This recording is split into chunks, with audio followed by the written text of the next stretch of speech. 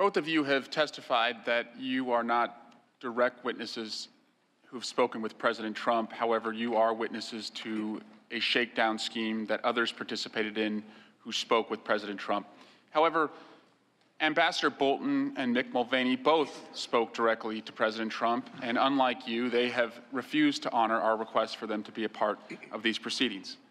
Nonetheless, we do know how Acting Chief of Staff Mick Mulvaney feels about aid because on October 17, at a press conference, he discussed the hold on security assistance for Ukraine. Ambassador Taylor, I'd like you to listen to what he said.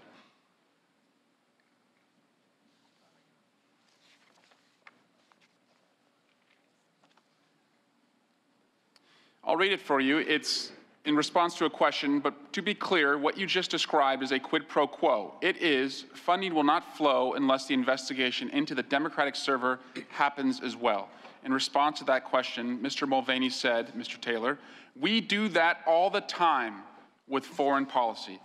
My question, Ambassador Taylor, the president conditioning security assistance on an investigation into his political opponent prior to this administration, is this something we would do all the time?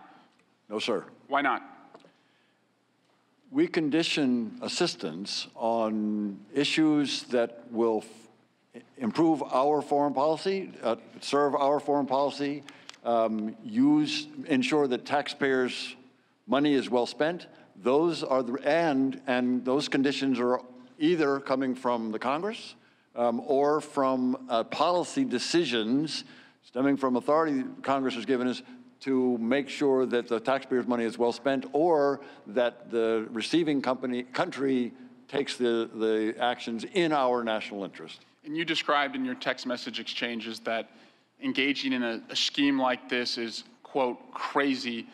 Can we also agree that it's just wrong? Yes. Why is it wrong? Again, um, our holding up of security assistance that would go to a country that is fighting aggression from Russia um, for no good policy reason, no good substantive reason, no good national security reason is wrong.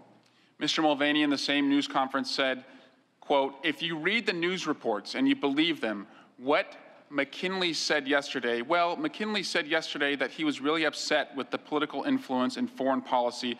That was one of the reasons he was so upset about this. And I have news for everybody. Get over it. There's going to be political influence in foreign policy. Ambassador Taylor, should we get over it? If we're talking about political influence, meaning attempts to get information that is solely useful for political campaigns, if that's what uh, we're, he's talking about, we should not get used to that. Finally, Mr. Mulvaney said, again, I was involved with the process by which the money was held up temporarily, okay? Three issues for that. The corruption of the country, whether or not the countries were participating in the support of Ukraine, and whether or not they were cooperating in an ongoing investigation with our Department of Justice. That's completely legitimate. Mr. Kent, were you aware of any formal Department of Justice cooperation request made to the Ukrainians? I am not aware that there was any formal Department of Justice request in this matter, no. Was Mr. Mulvaney's statement false? I think you'd refer that uh, question again to the Department of Justice since I don't have full knowledge of whatever they may have been working on.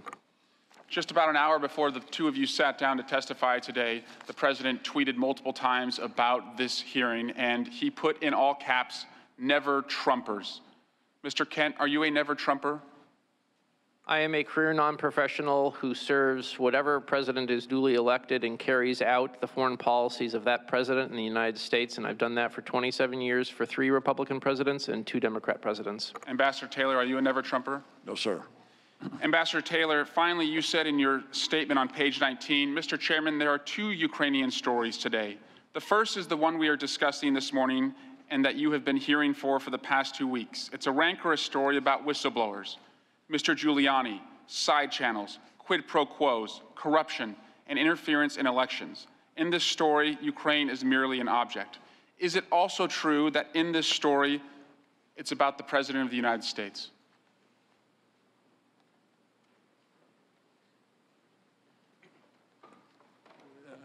Uh, Mr. Swalwell, I'm here at, to tell you what I know, um, and I'm here to tell you what I heard um, and what I said. Um, And in that regard, I can't answer that question. But yours, what you've testified to also involves the President of the United States, is that correct? The President of the United States was on the telephone call on the 25th of July. Yes, sir.